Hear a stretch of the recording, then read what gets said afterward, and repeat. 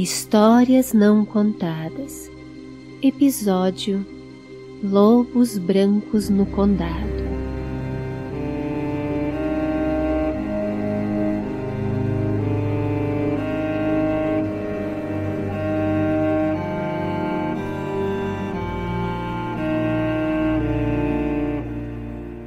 Pequenos flocos de neve ainda caíam de forma esparsa, mas por um tempo a nevasca havia dado um descanso à vila dos hobbits.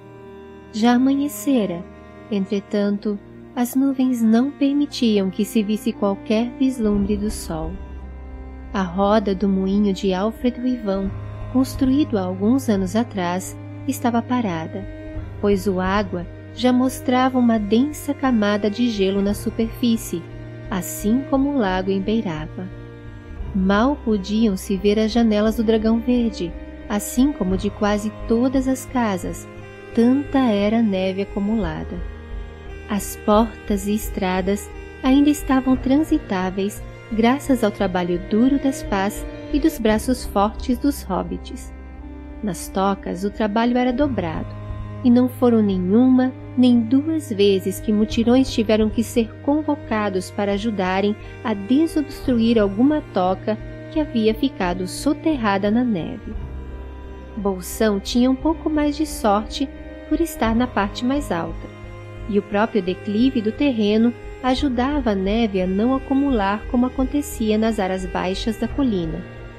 Mas em contrapartida, era mais castigada pelo vento forte e cortante que acompanhava a neve nos últimos dias. Era a pior nevasca desde o inverno longo, levando o prefeito de Grancava a convocar o Tain da terra dos Tuques, que era o líder do tribunal e das tropas de guerra do condado. Estes só eram chamados em tempos de emergência. Junto com o mestre correio e o primeiro condestável, eles haviam organizado grandes grupos de socorro, que levavam lenha, comida e ajudavam como podiam em todo o condado. Eram mensageiros, condestáveis, homens e mulheres hobbits. Só as crianças eram poupadas, mas tinham o seu trabalho, cuidar das tocas enquanto os pais socorriam outras famílias. Bilbo, com seus 21 anos agora, tirava neve do patamar à frente da porta verde e redonda. Estava, como todos os hobbits que precisavam sair de sua toca, coberto dos pés à cabeça, com roupas grossas e coloridas. Até botas forradas com lã ele estava usando, coisa que os hobbits raramente faziam, usar calçados. Um grosso cachecol fazia voltas em sua cabeça, deixando apenas seus olhos à mostra. Uma touca de couro, forrada de lã, com duas abas que se juntavam e eram amarradas no queixo, esquentavam as orelhas pontudas, agora escondidas. Era difícil manejar a pá com luvas grossas de couro, e as botas incomodavam e apertavam os dedos dos pés. Mas ou era isso, ou ficar congelado. Já era a rotina dos últimos dias. Bilbo e seu pai, Bungo Bolseiro, levantavam antes do sol nascer saltavam à janela da sala de estar e retiravam toda a neve acumulada durante a noite, que impedia a porta de ser aberta. Depois iam se juntando aos outros valentes hobbits e ajudavam na mesma tarefa em outras tocas. Hoje, porém, Bilbo estava sozinho na tarefa. Seu pai havia ido ajudar um grupo, liderado por um dos condestáveis, a levar comida para os hobbits que moravam nos arredores da vila, e Bilbo fora incumbido por seu pai a ser o hobbit da casa e cuidar de tudo, inclusive e principalmente de sua mãe Beladona. Não que Beladona Tuck precisasse de cuidados. Tinha um espírito de ação maior até que o de seu marido, e por várias vezes acompanhava os mutirões com a pá em mãos. Afinal, ela era uma Tuque. Depois de jogar a última pá de neve no montão ao lado da entrada, Bilbo voltou para dentro da toca o mais depressa que conseguiu, sem escorregar na camada de gelo liso que sempre ficava sobre as pedras. Abriu e fechou a porta com força. O calor lá dentro foi muito bem-vindo. Bilbo tirou as botas e as luvas o mais rápido que seu corpo enregelado lhe permitiu e correu para a lareira para esquentar os pés e mãos, que já não sentia há algum tempo. Ouviu a voz da mãe vindo da cozinha. É você, Bilbo? Sim, gritou Bilbo de volta com a voz ainda trêmula de frio. Algum sinal de seu pai? Bilbo foi até a janela e nada viu além de um mundo branco e pequenos pontos coloridos empunhando paz aqui e ali. Não, mãe, respondeu Bilbo, voltando logo em seguida para perto da lareira. Beladona apareceu no segundo arco da sala, cheirando a cebola e batata. Estou começando a ficar preocupada. Se ele não voltar em vinte minutos, irei atrás dele. O estômago de Bilbo deu um grunhido de fome. A comida estava sendo racionada e todos estavam apertando os cintos. Os que tinham um pouco mais davam para os que pouco tinham. Com sorte, a comida duraria até o fim do inverno. Dona olhou Bilbo com ternura. Sei que está com fome, querido, mas precisamos esperar seu pai. Hum. Dê mais uma olhada na janela. Vou tirar um pouco de sopa para você. Eu esperarei por seu pai. Bilbo foi à janela enquanto a mãe voltava à cozinha. Então ele deu um grito de alegria. Não precisaria mais comer sozinho. Mamãe, papai acabou de fechar o portão. Está subindo em direção à porta. E não está sozinho.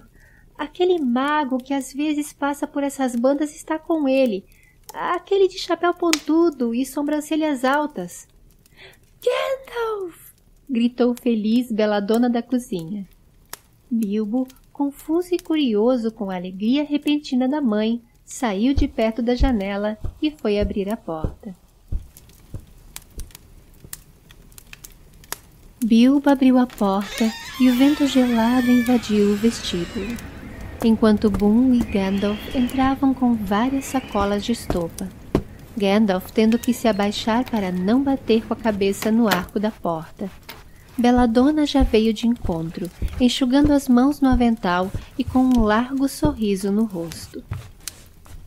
Que alegria lhe rever, meu bom Gandalf! disse Beladona dando um abraço sem cerimônia no mago, que mal havia tirado o chapéu e a capa. Sempre chegando quando menos esperamos e mais necessitamos. Onde o encontrou, Bungo? Em frente ao dragão verde, respondeu Bungo enquanto apoiava o cajado de Gandalf na parede. Ele veio com uma daquelas charretes sem rodas que usam lá na Quarta Norte, mas de gente grande. Estava cheia de comida, bela dona. Por isso demoramos. Aproveitamos e já levamos mais provisões para o povo do interior. Você andou na charrete? Perguntou Bilbo animado e ansioso, pois sempre quisera andar numa delas quando eles visitavam os parentes na Quarta Norte. Andei sim, filho, e se quer saber, aquelas coisas dão medo. Parece que estamos voando. Mal vi as formas das árvores quando passamos pela alameda que vai para o brejo juncoso. Se querem saber, Bungo foi o que melhor se adaptou à viagem, disse Gandalf com um sorriso maroto. Longo bolseiro vomitou, respondeu Bungo segurando o riso. E o condestável que nos acompanhou caiu de cara na neve quando paramos no primeiro sítio. Os olhos de Bilbo já brilhavam como os de um hobbit diante de uma mesa grande e farta. Mas Beladona falou antes que ele pudesse pedir uma volta de cortesia ao mago. Seu primo Longo sempre foi fraco do estômago. Lembra-se de como ele vomitou os dois cafés da manhã depois da gincana na última festa das colinas? Mas venham, vamos sair desse vestíbulo frio. Sentem-se na sala, perto da lareira. Vou colocar mais algumas batatas na sopa. Ah, não temos muito para compartilhar nesses tempos, meu bom Gandalf. Creio que não será o suficiente para saciar a fome, mas a deixará num leve contentamento por algum tempo. Gandalf colocou a mão sobre o ombro da Hobbit e disse: Minha corajosa e amada Hobbit, já me sinto saciado apenas sentindo esse cheiro. Está maravilhoso. Belladonna riu e Gandalf continuou. Mas trouxemos mais algumas batatas aqui nas sacolas. E mais estarão chegando amanhã em Buquimburgo, disse Bungo já encaminhando todos para a sala. Os homens do norte estão trazendo. Iremos até lá amanhã e ajudaremos na distribuição. Bilbo não conteve um grito de excitação. Eu também! Iremos de charrete? Bungo sorriu para o filho. Sim e sim. Bilbo foi ajudar a mãe na cozinha, sorrindo de orelha a orelha. Ele iria andar de charrete, e ainda melhor, uma charrete da gente grande. Seu lado tuque tomava conta de todo o seu ser robitesco. A sopa engrossou e aumentou. Belladonna também fez alguns pães frescos, aproveitando a farinha que Gandalf havia trazido. Ultimamente torravam todos os pães, pois duravam mais tempo e podiam ser separados em porções mais facilmente. Um chá de ervas e cascas de maçã acompanhou o simples, mas delicioso almoço. Comeram em porções, pois teria que sobrar para o jantar mais tarde. No entanto, eles não se importavam. Estavam alegres e cheios de esperança, que fora renovada com a chegada do Mago Cinzento. À tarde, sentaram-se na sala e, junto à lareira, fumando a boa erva do Vale Comprido, que também estava sendo racionada devido ao inverno, conversaram sobre coisas alegres e sobre coisas tristes. Bilbo ficou sabendo que o inverno castigava boa parte das terras de Eriador também, e que o povo da gente grande também estava sofrendo como eles. Os maiores temores, compartilhados por quase todos, era de que o inverno se estendesse e eles tivessem que enfrentar um segundo inverno longo. Fora mais de duzentos anos, mas todos conheciam muito bem as histórias. Cinco meses de frio congelante pouca comida e nevasca sem fim. Depois as inundações, deixando muitos hobbits sem toca e sem vida. Não havia um dia que não se visse um enterro ou vários. Os que o frio não conseguia levar eram levados pela peste, dizia Belladonna. Eram essas as histórias que meus irmãos Hildebrand e Isenbold me contavam ao pé da lareira para me assustar. Se nem as histórias dos túmulos nas colinas depois da Floresta Velha me assustavam, eu lá iria me assustar com as intempéries do tempo. Eles aqui eram uns medrosos. Fugiam correndo quando eu os perseguia à noite pelos corredores coberta por um lençol branco. Eles acordavam toda a mansão com os gritos, e eu jogava o lençol num canto e depois aparecia sonolenta, perguntando quem estava fazendo tanto barulho. Bela Dona riu e todos riram junto com ela. Poucas eram as coisas que abalavam Bela Dona Bolseiro. À noite comeram as sobras do almoço e Bela Dona adicionou alguns pedaços de frutas secas como sobremesa. Um doce para dormir melhor, disse ela. Bilbo foi dormir ansioso pela viagem de charrete, que descobriu que tinha outro nome. Gandalf a chamava de Trenó. Demorou a pegar no sono. Ficou olhando a neve que voltava a cair do lado de fora da janela redonda. Teriam que limpar a entrada da toca antes de partir. Ainda não havia amanhecido e Bilbo já ajudava a mãe a pôr a mesa. Pão torrado com porções bem rasas de manteiga e um café minguado. Mas Bilbo já estava acostumado. Os três hobbits limparam rapidamente a entrada. Bela Dona não aceitou o cavalheirismo de Bungo dessa vez. Vocês precisam chegar cedo a Buquimburgo. Guarde suas gentilezas para quando você voltar, disse Bela Dona beijando o marido. Quando a porta foi desobstruída, Gandalf conseguiu sair. Seu tamanho o impedia de pular a janela. Colocaram todas as roupas quentes que podiam. Bilbo se sentia pesado e desajeitado, mas Gandalf e Bungo insistiram. Você sentirá muito frio na estrada, filho. Precisa estar bem agasalhado, disse Bungo com carinho. Desceram a colina, afundando na neve que havia caído na noite passada, e caminhando com dificuldade, chegaram à beiragua. Gandalf trouxe o cavalo que tinha passado a noite no estábulo junto com os pôneis e o prendeu à frente do trenó. Amarraram todas as coisas que levariam e Bumbo e Bilbo sentaram ao lado de Gandalf no banco. Segure-se firme no banco, filho, e não olhe para os lados se perceber que está ficando tonto, disse Bumbo já se segurando a madeira do banco. Bilbo prendeu a respiração e a soltou num grito de euforia uh! quando Gandalf balançou as rédeas e o cavalo saiu num trote rápido.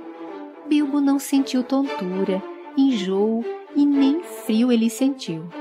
Estava rumando para o desconhecido, voando em meio às asas de um dragão. Jabongo olhava concentrado a estrada, se segurando firme ao banco. Bilbo fechava e abria os olhos, em puro deleite arriscando às vezes a erguer um dos braços e deixando-o voar junto com o vento.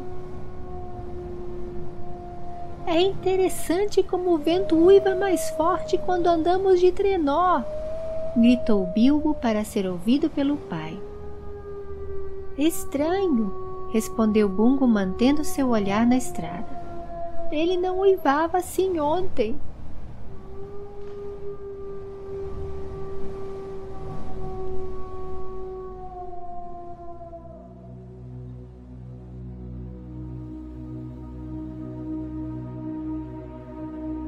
Era estranho ver o condado assim, pensou Bilbo. Os invernos normais representavam apenas algumas árvores secas e dias mais curtos. A sol nascia por volta das oito da manhã, sumindo no horizonte às quatro da tarde. Raramente se via neve no condado, fora na quarta norte, que ficava perto das Emin Uyal, as colinas de Vesperturvo, que faziam parte do reino perdido de Arnor. Agora Todas as terras baixas, que antes eram repletas de plantações, eram um tapete branco, e nas colinas verdes, as únicas árvores que podiam ser vistas, e somente em partes, eram os pinheiros. Em pouco tempo, eles já tinham passado Sapântano e Fosso Branco. Quando chegaram perto da ponte do Brandevin, Gandalf diminuiu o ritmo do cavalo já estava anoitecendo e havia uma camada de gelo bem escorregadio sobre as pedras da ponte, fazendo-os passar por ela com toda a cautela. Enfim, chegaram ao portão norte da terra dos buques. Foram recepcionados por Erlen Guarda-Cerca. Guarda-Cerca era um nome que acompanhava todos os que eram incumbidos de cuidar da sentinela no portão e se tornava mais conhecido do que seu sobrenome verdadeiro. Seu bungo bolseiro! exclamou Ellen. Faz tempo que não o vejo por essas bandas. Como vai a senhora Beladona? Esse é o seu menino? Ellen deu um assobio de espanto. Caramba, como ele esticou! Gandalf cortou a conversa cordial do guarda-cerca. Conhecia o apetite voraz dos hobbits por conversas e histórias. Meu bom Ellen, Algum dos homens do norte já chegou com o restante das provisões? Não, senhor mago. Tô aqui desde que amanheceu, mas ninguém passou. Só o vento ivando. Começou ontem à noite. Muito estranho. Erlen tinha muita experiência com o clima, depois de passar inúmeras estações morando na casa do Portão Norte. Também notei, Erlen, disse Gandalf olhando sério para o norte. Vem daquela região e está aumentando. Receio que teremos que esperar ainda mais a distribuição das provisões. Acha que pode ser algo mais do que apenas o vento, mestre Gandalf? Perguntou Bungo preocupado. Bilbo começou a prestar mais atenção ao vento. Antes que Gandalf pudesse responder, sete Dúnedain chegaram a cavalo, vindo pela estrada do leste, com trenós abalroados e vários animais de carga, com o restante das provisões. Pararam em frente ao portão e desapearam dos cavalos. O mais velho, que se chama Araval, falou com Gandalf.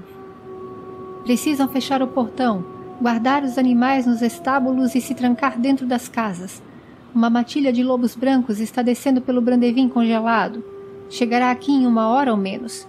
Nossos homens conseguiram espantar e desviar boa parte deles de volta ao norte, mas uma matilha considerável passou nossas barreiras. Eles vêm das terras congeladas de Foroshel, provavelmente. Os hobbits ficaram aterrorizados, mas Gandalf parecia só estar confirmando algo que ele já havia deduzido e disse: Era o que eu temia. Vamos precisar de toda a sua ajuda, Araval. Então Gandalf se virou para Elin. Toquem as trompas, Elin. Convoquem todos. Precisamos nos preparar. Elin correu para dentro de sua casa e voltou com uma trompa pequena em forma de chifre. Saiu correndo pela estrada, tocando a trompa com todo vigor. Logo, outras trompas vieram em resposta, e a terra dos buques virou um alvoroço.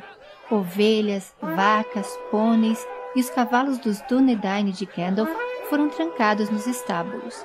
Os animais já estavam presos desde o começo do inverno, mas agora portas foram trancadas e aberturas foram bloqueadas com madeira grossa. Também ficaram trancados nas tocas e casas boa parte das mulheres, jovens e todos os velhos e crianças.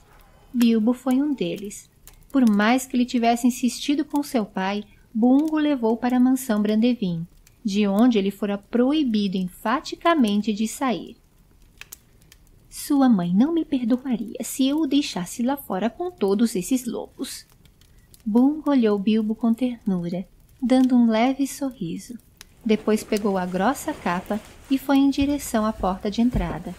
Bilbo correu atrás do pai e o abraçou. Lágrimas já brotavam em seu rosto. Bilbo nunca havia passado por um perigo maior do que cachorros o perseguindo depois de assaltar um pomar em algum quintal alheio. Ele estava apavorado. Eu voltarei, filho. Os Dunedain estão nos ajudando e Gandalf estará conosco também. Aquiete o seu coração e não saia daqui. Terminou olhando em tom de ameaça para garantir que Bilbo não faria nenhuma bobagem. Boa sorte a todos vocês, disse Gorbadoc Brandebu, conhecido como Cinto Largo por questões óbvias. Ele ficaria cuidando dos hobbits na mansão, pois ele havia se tornado senhor da mansão do Brandevin depois da morte de seu pai, Marmadoc Brandebu, ou Imperioso, no ano passado. Fechou e trancou a porta logo depois que Bungo saiu. Bilbo foi correndo até uma das janelas grandes, que dava uma vista panorâmica do rio e arredores. Ver o que estava acontecendo lhe trazia uma pequena porção de conforto. A noite já havia caído sobre as terras dos buques, mas Bilbo conseguia ver o rio congelado do Brandevin refletindo a luz do lua. Tudo parecia calmo e quieto, mas não demorou muito, e ele pôde ver vários pontos luminosos tanto nos arredores quanto em cima do rio congelado. Todos levavam tochas e usavam pedaços de metal que fariam pôr as trompas quando o momento chegasse. A intenção não era ferir os lobos, mas espantá-los de volta ao norte. O fogo e o barulho seriam suas melhores armas. Os uivos agora já enchiam o ar. Bilbo começou a tremer involuntariamente, mas não se afastou da janela viu uma grande correria perto da margem oposta. Foi aí que ele os viu, ainda de longe, iluminados fracamente pelas tochas, rosnando e avaliando a ameaça encontrada. Então o alvoroço começou de verdade. As trompas soavam, os metais se chocavam e as tochas eram balançadas levando a barreira à frente. Os lobos começaram a recuar. Bilbo conteve um grito, tapando a boca, quando viu um lobo bem perto da sua janela. Um misto de pavor e assombro o invadiu. Eles eram assustadores e belos ao mesmo tempo. Dois Dúnedain e mais alguns hobbits vieram correndo, gritando e fazendo muito barulho. Os lobos recuaram e Bilbo se aproximou mais da janela para ver melhor. A coragem dos hobbits lutando ao lado dos Dúnedain espantou Bilbo. Nunca vira seu povo tão feroz, como se uma chama de coragem tivesse se acendido dentro deles. Gandalf liderava a barreira. Sua tocha parecia mais forte do que as outras, e por instantes Bilbo quase achou que vira algumas faíscas prateadas saindo do cajado do mago. Mas as tochas balançavam em tantos pontos e de tantas formas que com certeza seus olhos já o estavam confundindo, pensou Bilbo. Um dos lobos tentou avançar, mas Gandalf o repeliu, usando o cajado, a tocha e gritos em alguma língua antiga que Bilbo não conhecia. Muitos diziam que o mago era amigo dos elfos. Deve ter sido a língua deles que o mago tinha pronunciado. Mas será que os lobos entendiam a língua dos elfos? Bilbo se perguntava em sua mente juvenil. Entendendo ou não, parecia estar funcionando.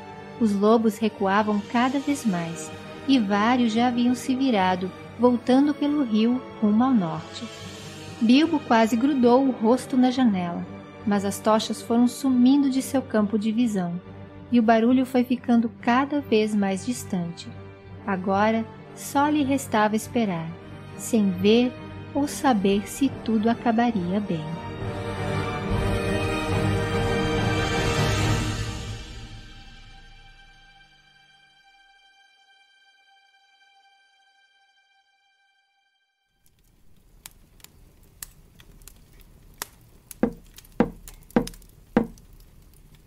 Foi só muito depois do amanhecer que Bilbo viu, meio cochilando da janela, que alguém havia batido na porta central da mansão. Bilbo levantou num salto e foi correndo ao salão de entrada. Era um hobbit de tronco e os informou que os homens do norte e mais alguns hobbits estavam subindo em direção à Quarta Norte, afugentando a matilha para as florestas, além do lago Vesperturvo. A gente grande diz que lá os lobos conseguirão caça e poderão voltar para o extremo norte quando o inverno passar. Ele também informou que o mago e o restante dos hobbits estavam voltando, contornando o rio, e fora alguns arranhões e machucados feitos por conta de quedas acidentais, estavam todos bem. Naquele dia só conseguiram separar as provisões, pois Gandalf e os hobbits combatentes entre eles Bumbo Bolseiro, só chegaram depois do meio do dia. Bilbo mais uma vez abraçou o pai com força e, mesmo cansado, ajudou na separação e empacotamento dos mantimentos. Estes foram levados no dia seguinte por pôneis até onde conseguiam chegar, e pelo trenó de Gandalf nos lugares inacessíveis para os pequenos animais. Bilbo, Bungo e mais dois hobbits ajudaram o mago na tarefa. Um deles era o guarda-cerca Erling, que não vomitara como primo de Bungo, mas ficara com as marcas das tiras da madeira do trenó nas mãos por dois dias. Depois de três dias viajando por todo o condado, finalmente o trenó parou na frente da estalagem do Dragão Verde. Belladonna os estava esperando lá, e ora os repreendia, ora os abraçava e chorava entre as duas reações. Pouca coisa abalava a bela dona Bolseiro. Perder Bungo e Bilbo era uma delas. Meu coração quase parou quando o condestável de Fosso Branco veio me avisar, disse Beladona. Lobos em pleno condado. Quem poderia imaginar? E vocês lá, tendo que enfrentar todo esse perigo. Ainda bem que você estava com eles, Gandalf. Realmente você vem quando mais necessitamos. Obrigada. E mais uma vez ela abraçou o mago sem qualquer cerimônia. Gandalf se despediu da família Bolseiro e seguiu em direção à ponte do Brandevin e para fora do condado. Havia muito a fazer. O mal se erguia no leste, e era para lá que ele iria. Sabia que, mesmo que o inverno ainda durasse, os hobbits conseguiriam sobreviver com a ajuda que receberam. Ele sabia que a centelha já havia aumentado a chama e que ela arderia enquanto ela fosse necessária. Eram um povo pequeno, mas forte e resistente, muito mais do que a gente grande poderia imaginar. Sim, eles suportariam o tempo de provação e seu sorriso largo e simples voltaria com força na próxima primavera. Hobbits eram seres notáveis, pensou Gandalf, e depois sorriu. Olhando a bolsa de folhas do Vale Comprido, com a qual Bungo e Belladonna o tinham presenteado. Realmente notáveis, disse o mago para si mesmo e fez o cavalo agilizar o trote.